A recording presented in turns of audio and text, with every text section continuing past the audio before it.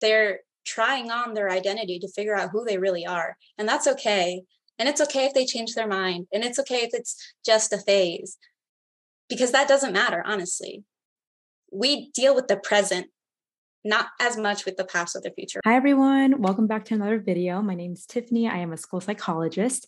And today we're going to be talking about ways to support the LGBTQ plus community as a school psychologist and educator.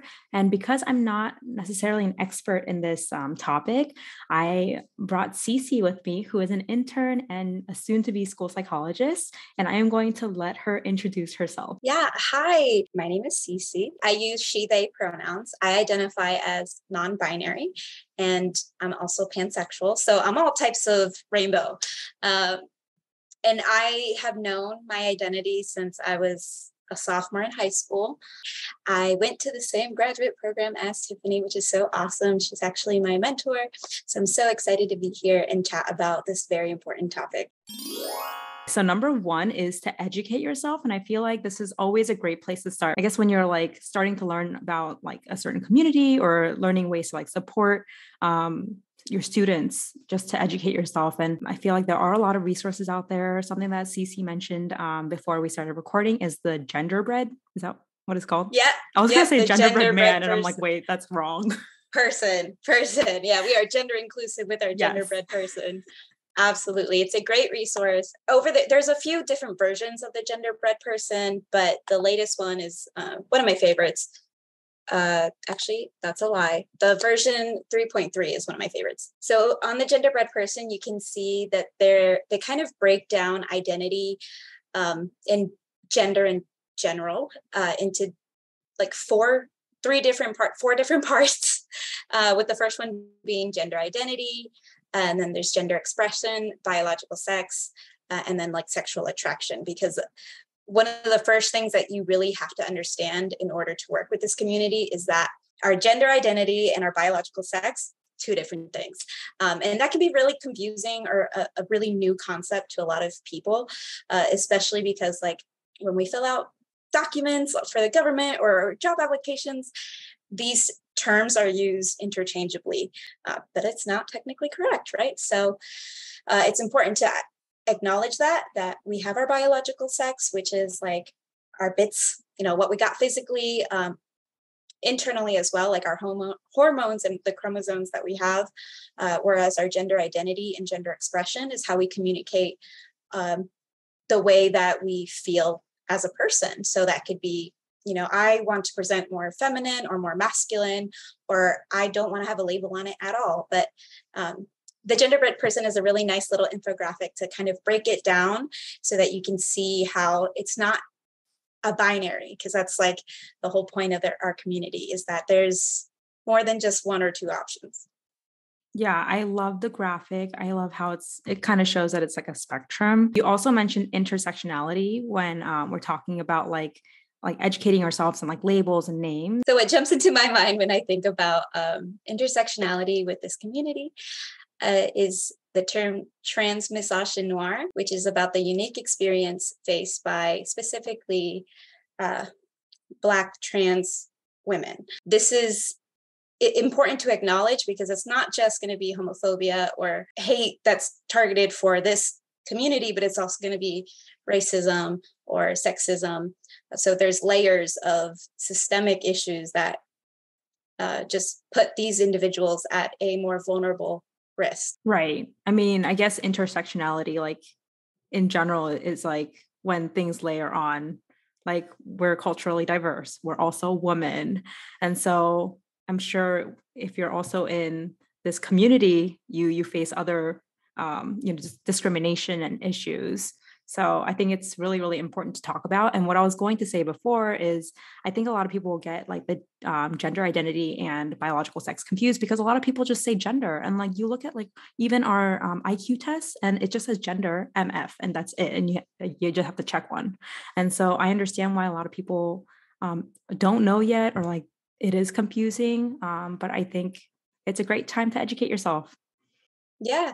Which speaking of like our testing, cognitive testing, there are some items on some tests, will not be named, that um, I think are clearly uh, bias against this community because like there might be a question out there like what type of person or who wears a dress or something like that and it's i don't know it's a little outdated um, especially because we are not the only culture that exists right? American western culture and there are cultures where masculine individuals or men wear dresses or skirts or whatever. So just something to, to think about. Number two, uh, using preferred pronouns and uh, preferred names. This is so important because we're recognizing and saying that accepting a, a student's identity um, and it's legally what we have to do right? It's our job and ethically as educators or school psychologists to um, affirm that child when what they're going through and make them uh, less at risk for things like homelessness, uh, suicide, um, self harm, because uh, this community, especially the youth in this community, are at an extremely high risk for poor mental health outcomes, for poor education outcomes, because they're not going to school. I actually have some statistics that we could share uh, to go along with this. We always love data. right? Yes. Uh, according to the National School Climate Survey, from GLSEN, uh, like 51% of LGBT students felt unsafe at school because of their sexual orientation, uh, 42 because of their gender expression, and 37 because of their gender. Um, 32% missed at least one entire day of school because they felt unsafe or uncomfortable. And 45% avoided bathrooms, excuse me, because they felt unsafe or uncomfortable. Similarly, 43% avoided locker rooms. So that's a substantial amount of this community that isn't feeling like they have a place or belong inside of their school community. It, it's a new situation for a lot of districts um, to really acknowledge this formally. And I know even our district is in the process of um, having a more standard procedure for things like what do you do when my student you know wants to go by a different name or different pronouns and you know doing so makes a teacher uncomfortable or makes the class someone in the class uncomfortable another student even you know so um, i'm glad that it's starting to pick up awareness it does seem like the law is not quite going the way that it should be according to research but um, you know there there's a lot of people a lot of educators who are well you know eh, they have that base of I want my students to succeed. And once they, you know, I feel like once everyone understands that if we don't help them, it's not like they're going to fail a grade. It's they can lose their life. According to the Trevor Project, which is another organization that supports this community of students, 40,000 youths, LGBT youth, were, were surveyed. And that's when 40% of respondents um, seriously considered attempting suicide. So that is quite an amount of students that, you know, feel so hopeless that they consider, you know, suicide. Yeah, and we're talking about kids here, right? And like they're, you know, their brains are developing rapidly. They're starting to like form their identities. Like this is when they like need the most support. As, you know, experts in child development, we know that adolescence is meant for exploration, right? They're trying on their identity to figure out who they really are. And that's okay. And it's okay if they change their mind. And it's okay if it's just a phase, because that doesn't matter, honestly. We deal with the present, not as much with the past or the future, right? We're here to help that student um, obviously be successful in the future and like recover from any traumas from their past. But ultimately, we're here so that their present day is better because that leads to the better future. They're not going to do their homework or pay attention during math if they feel like life isn't worth living. Yeah, right? definitely. At that point, like academics, like they they take a backseat. Yeah. we want to make sure like they're socially, like mentally, like emotionally, like present, and you know that they feel safe and and secure. When we have a vulnerable population, just like we would for any student with another type of vulnerability, whether that be a marginalized identity in another capacity, we protect them. Great. So I'm going to leave all of those resources um, in the description box below. Another way to really uh, support our students is you know just being conscious of the language that we're using in our everyday conversations. It's very easy to have gendered language um, especially in spanish because like our whole language is gendered. But there are alternatives. So like instead of saying okay you guys let's you know whatever or okay ladies let's do you know you could say all right y'all you know if you're in the south like us all right y'all is a great way to do it or okay everyone or you know there there are alternatives and it might not seem like a big thing but to a student who is just figuring out what their identity is it can it can be a little sign that you're a safe person. Number 3 is to create a safe space and this could be by like decorating your your office or your classroom or um, even like setting like rules and boundaries in the beginning like you know talking about like being respectful and inclusive. I think having those like conversations and rules in the beginning um, of like whether it's like a group session or whether it's class i think those are really important something i really want to add to my office is a rainbow flag um, and i also have like a sign that says this is a safe space i mean not saying like oh that means everything, but I feel like it's just it's a way to I guess show like where you stand. Absolutely. It's so important to have a way for students to know that you're safe without having to say it out loud because it doesn't need to be a conversation right it could be as simple as just having a little rainbow flag or even um, what i've done too is just complimented the students rainbow gear that they might be wearing like I remember walking down the hallway in a high school once, and there was a student with Crocs who had little like pride pins uh, on their Crocs. Um, and I just complimented that and offered if, you know, if they needed to talk about anything. And, you know, just having that little introduction so that they can feel safe is I mean, that's that's very valuable. Even having like that one adult like could make mm-hmm. like such a big difference oh, yeah. because there are a lot of adults in the building that might not feel comfortable or maybe they they have different differing opinions and beliefs and mm. yeah it's it's difficult number 4 is read the room and what we mean by that is we don't have to make it a huge deal when a student does come out to us if they choose to do so right? Um, we never want to pressure them we never want to assume and if they do choose to share whatever um, identity that they're exploring the best thing to do is just to say okay do you want to talk about it? and not really go like oh you're so brave. Oh you know? Because what children and individuals in the community uh, like like personally i want to be accepted as if I'm saying my zodiac sign, right? As if I'm saying another like my my nationality, like sharing that kind of thing. I don't want it to be something that turns into um because it, it just it can amplify the situation when it doesn't need to be. Number five is to start or support something like a GSA, a Gay Straight Alliance. Um, I think in my school, we're going to start a Rainbow Alliance next year, which I'm really, really excited for. Um, I know even back when I was in high school, we had a club like this. So I, I'm a little disappointed that some schools still don't have something going um, just to support your students who want to be a part of that and who want to be you know have a community in in their school absolutely and they're actually not called gay straight alliances anymore. We've updated our terms. It's usually referred to as the Gender and Sexuality Alliance. Um, so it's still the same acronym. This also, I think, ties back to our alphabet soup to name our community LGBTQIA, you know, plus.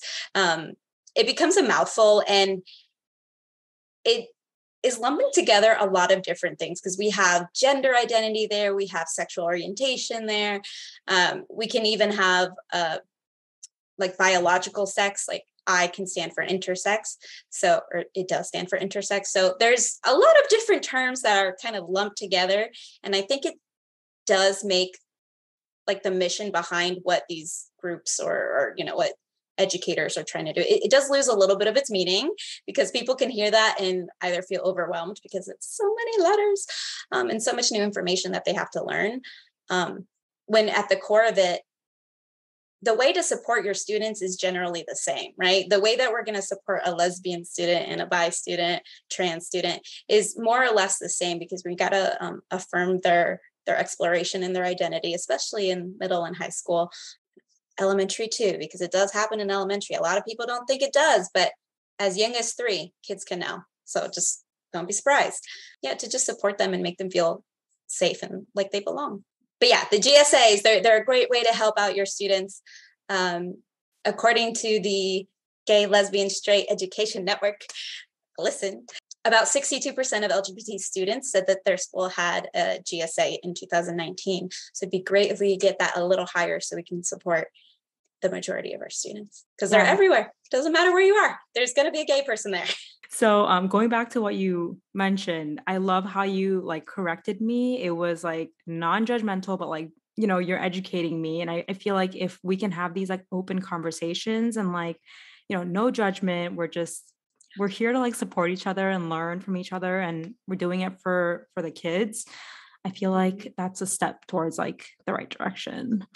Yes. Um, and that reminds me of the point that I wanted to make that uh, it's okay to make mistakes, right? Most individuals will not be offended if you mistake their pronouns or, you know, you slip up and maybe you use their dead name.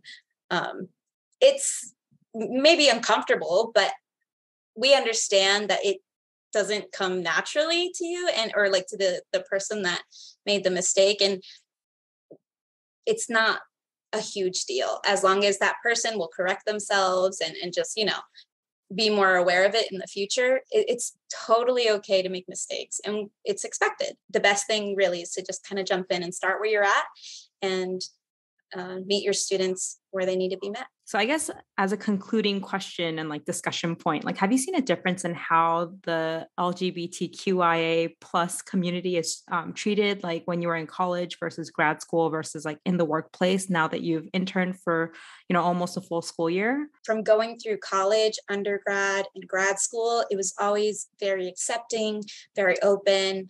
A lot of events uh, to promote LGBTQIA plus, um, like students but I was fortunate and I went to a very diverse school. And I went to um, a school in Northern Virginia that is very accepting that area in general. So I know that that probably has something to do with my experience. In the workplace, it's definitely different. Um, I do have my pronouns in like my email signature. Uh, and I've tried to encourage myself to share it like in person, but that's still a little uh, scary for me because when you have pronouns that are unexpected, like I'd say, or or maybe like not unexpected, but pronouns that you have to come out with, like you have to come out and share your pronouns. It's scary because coming out doesn't just happen one time. It happens anytime you meet a new person or you're in a new setting, and you never know what the reaction is going to be. So I can definitely say that in the workplace, I was not as confident with being as open with my identity, um, especially as I was working in, or I'm working in an elementary school. So I just, there wasn't a lot of signage or, or indicators of direct support from, you know, the people that I was working with. Not that I think that they would have, you know, been impolite or rude to me at all. Um, but it, it does, you know, color the way that people would look at me and maybe even talk about me. So I was just more nervous to be my authentic self. I'm getting better at that now, though, um, because I need to practice what I preach. Uh, and I know that visibility of the children seeing someone who, you know, I'm not that different. um, it would, it can help, you know, just knowing that someone ha- lives their life that way, that that's an option you know it's not a bad thing. Um, but it does make me nervous especially with parents. I get very nervous and i never um, or i haven't yet shared um, anything like that with parents. Um, one because time and place right? It's we're not there to talk about my my identity. But also just you know with uh, being multicultural i know that there's a lot of cultural factors that can go into how individuals um, perceive the lgbtqia community. So i just i'm careful. Um, I have uh, had colleagues who have um, been discriminated against for their uh, identity as being a part of the rainbow community. Um, it's very di- disheartening to hear that that person had to go through that because they are amazing and incredible and such a great like school psychologist. Um, but it happens. Um, I will say that they are, uh, you know, not in North Northern Virginia, so that makes me feel like I'm, I'm even more sheltered just being in this area where this is a more a progressive area. But I have heard of situations with my colleagues, or you know, and that it's it's sad to hear because if it's happening to adults, I can imagine what's happening to the kids. While I'm not yet to the place where I feel like I can be out and proud all the time, uh, I'm headed in that direction. Definitely. That's what we like to hear. Thank you so much, Ceci, for being on here with yeah. me and for for chatting and like educating all of us. Uh, I'm so thankful. Yeah, thank you for having me. This is such an important topic to really educate ourselves and do better and um, especially given the the horrific laws that have been passed in Florida and, and the toxin across the country. Thank you everyone for watching. Don't forget to like and subscribe and follow me on Instagram and um, TikTok. And I'll see you guys in the next one. Bye. Bye.